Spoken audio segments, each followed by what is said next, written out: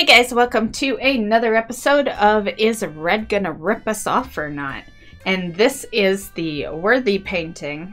This painting is always genuine, so you can purchase it as long as you find it in the shop.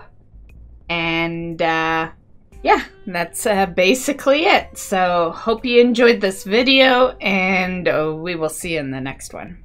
Bye guys.